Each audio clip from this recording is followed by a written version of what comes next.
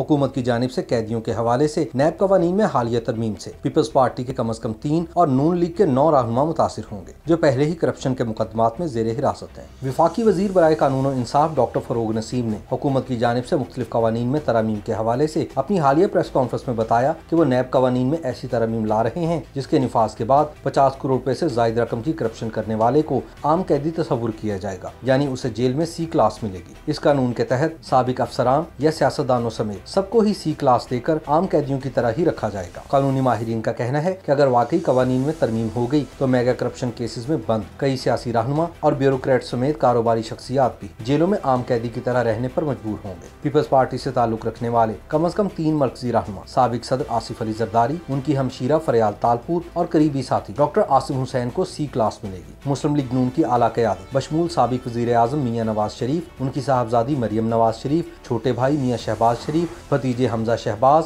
سابق وزیر اعظم پاکستان شاہد خاقان عباسی، خواجہ سعد رفیق، مفتاح اسماعیل، میاں نواز شریف کے دو بھتیجوں، میاں یوسف عباس اور عبدالعزیز عباس کو بھی بی کلاس کی بجائے سی کلاس پر ہی اکتفا کرنا پڑے گا۔ اسی طرح برسر اقتدار جماعت، تحریک انصاف سے تعلق رکھنے والے علیم خان اور سبتین خان سمیت کئی نامور سیاسی رہنما، بیوروکریٹس اور کاروباری شخصیات بھی عام قیدی کی طرح جیل کاٹیں گے۔ واضح رہے کہ جیل ایکٹ سن انیس سو اٹھتر کے تحت پاکستان میں قیدیوں کے لیے تین درجے تشکیل دیے گئے، جنہیں اے بی اور سی کہا جاتا ہے۔ سی کلاس کلاس میں عام قیدیوں کی طرح رکھا جاتا ہے اور ان کو کوئی خصوصی سہولیات نہیں دی جاتی۔ اے اور بی کلاس کے قیدیوں کو باورچی اور مشقتی کے طور پر سی کلاس کا قیدی دیا جاتا ہے۔ جیل مینول کے مطابق جنہیں ایک کلاس دی جاتی ہے، انہیں رہائش کے لیے دو کمروں پر محیط ایک الگ ویرک دی جاتی ہے، جس کے ایک کمرے کا سائز نو ضرب بارہ فٹ ہوتا ہے۔ ایک کلاس کے قیدی کے لیے bed A C fridge T V اور فرنیچر کے علاوہ الگ باورچی خانے کی سہولت بھی موجود ہوتی ہے۔ ایک کلاس کے قیدی کو اپنی پسند کا کھانا بنانے کی بھی اجازت ہوتی ہے۔ اس کے علاوہ ایک کلاس میں رہنے والے قیدی کو دو مشقتی بھی دیے جاتے ہیں۔ جن قیدیوں کو بی کلاس دی جاتی ہے، ان کے لیے ایک الگ سے کمرہ اور ایک مشقتی دیا جاتا ہے۔ تاہم، اگر جیل سپرنٹینڈنٹ چاہے، تو مشقتیوں کی تعداد ایک سے بڑھا کر دو بھی کر سکتا ہے۔ پاکستان میں اس وقت بڑی سیاسی جماعتوں کے قائدین،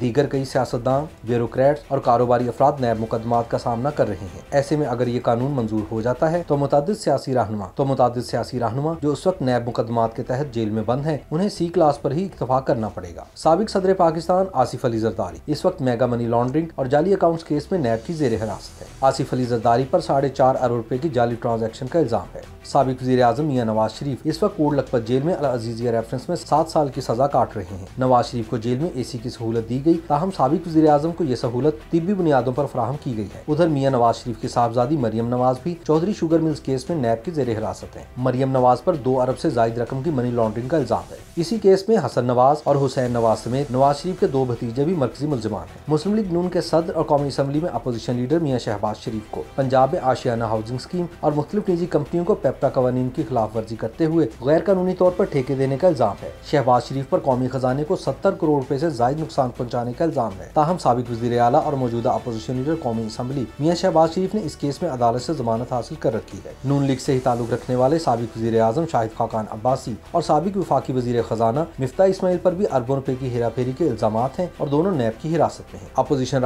رہنماؤں کی طرح تحریک انصاف کے رہنما اور سابق صوبائی وزیر عبدالعلیم خان پر بیرون ملک آمدن سے زائد اثاثے بنانے کا الزام ہے، تاہم وہ آج کل ضمانت پر رہا ہے۔ یہاں ایک سوال پیدا ہوتا ہے کہ نیب قوانین میں ترمیم کے ذریعے پچاس کروڑ روپے سے زائد رقم کی کرپشن میں ملوث افراد کو ایک عام قیدی کی طرح رکھا جائے گا۔ لیکن کیا ایسے میں طبی بنیادوں پر کسی قیدی کو جیل میں سہولیات نہیں مل سکیں گی؟ اس حوالے سے قانونی ماہرین کا کہنا ہے، اس ترمیم میں پچاس کروڑ روپے کی ایک حد تو طے کی جا رہی ہے۔ سہولیات دیے جانے سے نہیں روکا جا سکتا۔ کسی بھی قیدی کی طبی بنیادوں پر سہولت دینے کی درخواست پر فیصلہ صرف عدالت کر سکتی ہے۔ طبی بنیادوں پر کسی کو اے یا سی کلاس مخصوص خوراک یا کسی نگران کی ضرورت ہے، تو ایسی سہولیات عدالت کے حکم پر فراہم کی جا سکتی ہے جیل میں اے بی اور سی کلاس کا استعمال عام طور پر سیاسی قیدیوں کے حوالے سے ہی ہوتا ہے۔ کسی اور جرم میں ملوث افراد کے حوالے سے جیل میں ان سہولیات کا استعمال کم ہی دیکھنے کو ملتا ہے۔ تجزیہ کاروں کا خیال ہے کہ حکومت کی جانب سے نیب قوانین میں تبدیلی، انتہائی سوچ بچار کے بعد کی جا رہی ہے۔ برسر اقتدار، تحریک انصاف اور مقتدر حلقوں نے کرپشن کیسز میں زیر حراست اعلیٰ سیاسی رہنماؤں کو سبق سکھانے اور پریشرائز کرنے کے لیے انہیں سزا دینے کا فیصلہ کیا ہے۔ تاہم دوسری جانب عدالتوں کے پاس اختیار موجود ہے کہ وہ کسی بھی ملزم کو طبی بنیادوں پر ریلیف دے سکتی ہیں۔